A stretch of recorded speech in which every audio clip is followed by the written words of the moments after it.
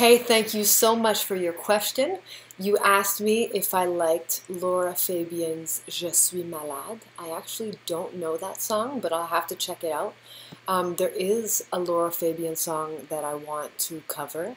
It's a song called Adagio. I don't know if you ever heard of it, but I love that song. I love how high it goes and how she belts it, and the song is amazing. So I definitely want to cover it. Um, and that will be the only time you probably ever hear me sing that high. I could probably promise you that right now because the song is ridiculously high, but I will attempt it very soon. So stay tuned. Thank you. Talk to you soon. Bye.